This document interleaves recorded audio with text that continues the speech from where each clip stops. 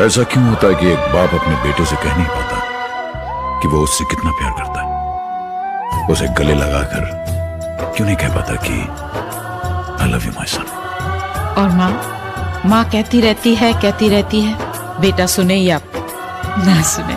तो इसका ये मतलब तो नहीं कि एक बाप अपने बेटे से कम प्यार करता है। माँ अपने बेटे से कितना प्यार करती है? इसका जवाब कोई नहीं दे सकता। माँ भी नहीं। क्योंकि इसका कोई जवाब ही नहीं है। ये सिर्फ़ एहसास है।